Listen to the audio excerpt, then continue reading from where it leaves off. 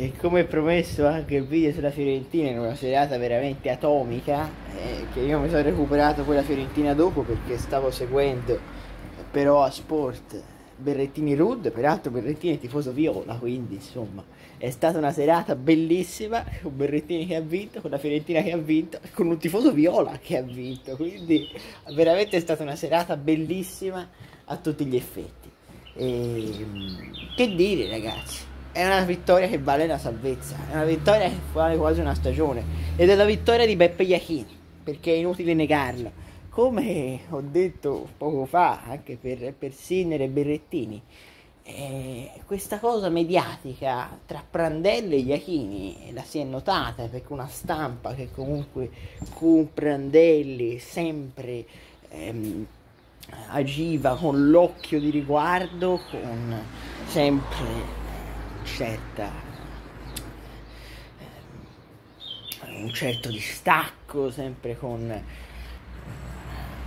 sempre con quell'occhio di riguardo, sempre eh, con quell'occhio di favore verso Prandelli, il maestro dei calci incontestabile Prandelli, bah, Iachini invece il capro espiatorio, il, il male, il, il, la causa di tutti i mali. E invece Beppe Iachini sta conducendo la nave fiorentina in porto. E è una Fiorentina ovviamente non spettacolare quella di Beppe Iachini, però è una Fiorentina umile, è una Fiorentina operaia, è una Fiorentina che eh, la, la, la, vittoria eh, di ieri e questa salvezza la sta conquistando eh, con il sudore, la sta conquistando ehm, con, con, pane e salame, la sta conquistando con eh, i vecchi dettami, la sta conquistando non eh, con eh, chissà quali roboanze, chissà quali calci champagne, eh, però la sta conquistando con questa umiltà e, e Iachini è questo, cioè per la salvezza è, è perfetto perché eh, a me da, dava molta più sicurezza, me l'aveva anche detto quando è andato via Prandelli, dà molta più sicurezza Iachini per la salvezza, a parte perché vedo una squadra più, più coesa, più convinta, più compatta, più determinata. Prima vedevo una squadra con Prandelli un po' più sfilacciata, una squadra mh, mm, che era un po' confusa eh, tante volte per quello che doveva fare. Che Prandelli, la cosa anche che non mi piaceva è che rilasciava certe dichiarazioni magari eh, bene, eh, stiamo lottando per la salvezza, eh, adesso eh, siamo umili, magari faceva una partita difensiva, faceva una partita anche troppo difensiva perché tante volte Iachini ha difensivista, Catenaccio, tante volte Prandelli ha messo delle formazioni più difensive. Poi appena la squadra vinceva una partita e la situazione di classifica si faceva un po' più serena, ecco che Prandelli provava a sorprendere, provava la difesa a 4, provava qualche esperimento un po' strano, provava a a portare il gioco, ma semplicemente se in questo momento non lo puoi portare, se in questo momento sei invischiato in certi tipi di lotte e devi affrontare questo campionato con un certo atteggiamento, con l'umiltà, con, mm, con serenità anche, cercando di uscire da questa situazione in maniera assolutamente umile ehm, e in maniera... Ehm, in maniera seria,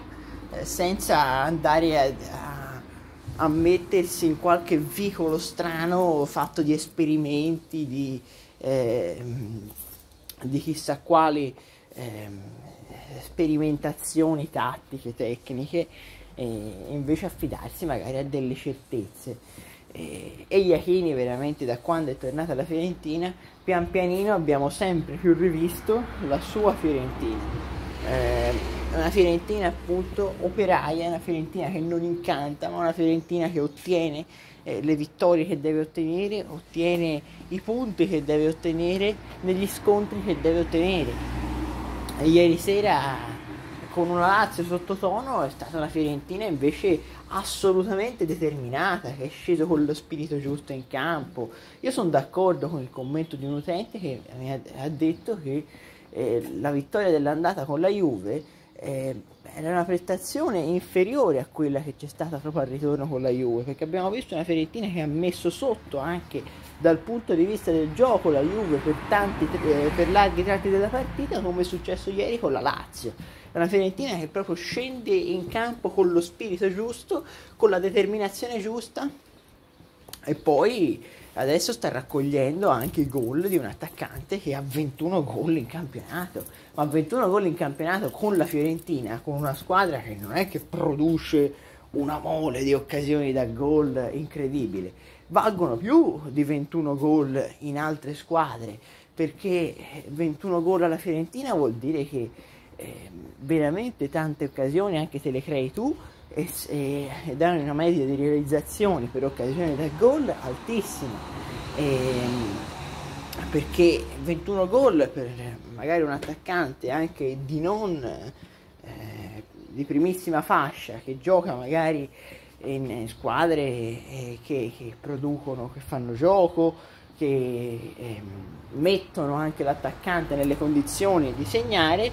ehm, chiaramente appunto eh, è più facile. Vlaovic sta dimostrando di essere un grandissimo attaccante e in questi mesi sta maturando ed è riuscito a, ehm, ad arrivare anche eh, a cifre realizzative straordinarie e a maturare proprio anche nel fatto di prendersi sulle spalle l'attacco della squadra e in questi mesi si è completato ancora di più come attaccante. Poi mi è piaciuto anche il centrocampo, la difesa arcigna ieri sera, eh, solida. Eh, ieri è stata veramente una bella, una bella Fiorentina, una Fiorentina che mi è piaciuta proprio nell'atteggiamento, mi è piaciuta proprio nello spirito per come è scesa in campo e per come è andata a prendersi di forza questa vittoria che era da ottenere e che, e che la Viola ha ottenuto in maniera assolutamente legittima e meritata per come, per come ha affrontato questa partita. E sono tre punti fondamentali che ti consentono di vivere intanto lo scontro diretto di Cagliari in maniera più serena, perché hai la possibilità di pareggiare, hai la possibilità anche di perdere perché hai margine di errore. A questo punto hai margine di errore, la salvezza è vicina, speriamo già mercoledì di ottenere la salvezza, così festa finita e si comincia a programmare per la prossima stagione. Però anche per la prossima stagione non basta per me cambiare l'allenatore, bisognerebbe un po' riformare anche la società, perché la società per me viene anche prima dell'allenatore, perché poi l'allenatore deve essere messo nelle condizioni giuste di lavorare. Come dicevamo l'altro giorno per Mourinho alla Roma, eh, deve essere messo nelle condizioni corrette di allenare, eh, altrimenti eh, è ovvio che è anche difficile arrivare a certi risultati. Invece eh, bisogna eh, intanto partire dalle fondamenta, eh, mettere persone che sappiamo essere in grado di gestire e di far partire un progetto come si deve e a quel punto ehm, avviare un progetto tecnico a medio e lungo termine con un allenatore magari in rampa di lancio. Però prima bisogna partire dalle fondamenta, bisogna partire da ehm, un bel ehm,